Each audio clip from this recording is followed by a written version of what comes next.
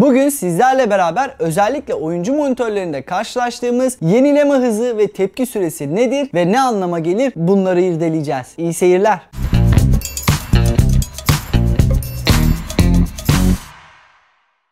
MediaMarkt'ın web sitesine girip oyuncu monitörleri veya normal monitörler fark etmez. Bunlara bir göz attığınızda farklı farklı değerlerin yazıldığını göreceksiniz. Kiminde 60 Hz 4 milisaniye, kiminde 144 Hz hatta 240 Hz onun yanında da bir 1 milisaniyeyi göreceksiniz. İşte bu iki değer özellikle rekabetçi oyuncuların monitör alırken özellikle dikkat ettiği şeylerin başında geliyor. Öncelikle yenileme hızıyla başlayalım çünkü bu yenileme hızının yüksekliği sizin bilgisayarınızdan aldığınız oyun performansını doğrudan etkiliyor. Siz oyuncu bilgisayarınıza ekran kartı olarak 1080 Ti almış olabilirsiniz. Bellek tarafında da 64 GB RAM de olabilir. Ama bunların hiçbiri monitörünüz eğer yeterince güçlü değilse bir şey ifade etmiyor. Atıyorum siz CSGO'da 240 FPS alıyorsunuz ama monitörünüz 60 Hz ise asla bu 240 FPS'i net bir şekilde bilgisayarınızda göremeyeceğiniz anlamına geliyor. Bunun tam tersi olarak yüksek hızlı bir monitörde düşük bir donanım çalıştırdığınızda da asla o hıza ulaşacak bir donanımınız olmadığı için bu değerleri göremeyeceksiniz. Yani bir donanımla monitör uyumu söz konusu. Buna göre de tercihimizi yapmamız gerekiyor. Peki bu Hertz dediğimiz olay bize nasıl bir avantaj sağlıyor? Monitör tanımlarında da yer alan bu Hertz ifadesi 1 saniyede ekranda gösterilen kare sayısını ifade ediyor arkadaşlar. Yani ne kadar çok kare gösteriliyorsa monitörünüz o kadar hızlı anlamına geliyor. Böylece rekabetçi oyunlarda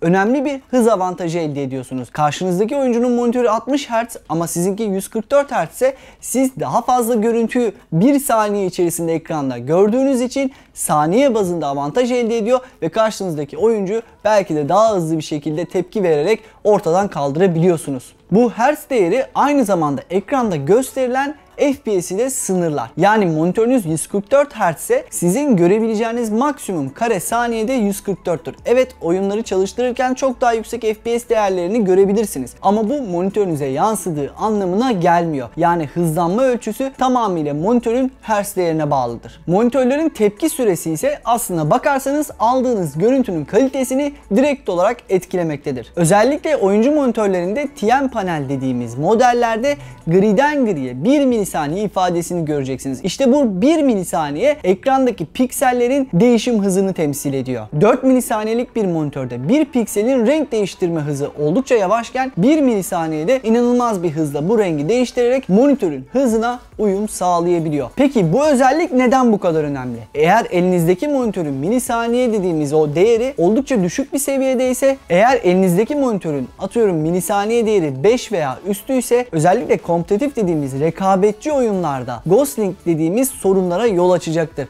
Yani sizin hızınıza yetişemeyen yani sizin hızınıza yetişemeyen monitör oldukça bulanık bir görüntü oluşturacak. Bu da sizin göz zevkinizi berbat edecek. Üstelik sadece göz zevkini de etkilemiyor. Çünkü ekranda oluşacak bu sorunlar nedeniyle oyunda aldığınız fragler oyundaki başarınız direkt olarak etkilenebilecektir. Ama 1 milisaniyelik bir oyuncu monitörü kullandığınızda piksellerin renk değiştirme süresi oldukça kısa olacağı için böyle bir sorunla karşılaşmayacaksınız. Yani anlayacağınız 144 ve üstü Hz'e sahip bir monitör ve 1 milisaniyelik gecikme süresi sizin özellikle rekabetçi oyunlarda oldukça temiz bir görüntü elde etmenizi sağlıyor. Bu yüzden aklınızda online oyunlarda başarılı bir performans sergilemek varsa monitörde bunun kilit noktalarından biri. Evet MediaMarkt izleyenleri sizler için monitörlerin tepkime süreleri ve yenilenme hızları ne işe yarar ve oyunlarda nasıl avantaj sağlarlar konulu bir video hazırladık ve sizlerle bilgilerimizi paylaştık. Eğer videoyu beğendiyseniz aşağıdaki beğen butonuna basmayı unutmayın.